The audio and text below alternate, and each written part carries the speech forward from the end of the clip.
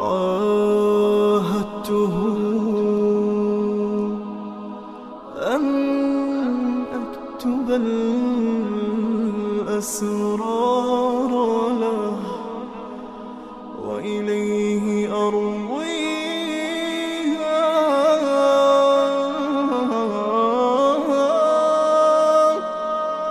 فصدقت في عهدي معه وبدأت أحكيها.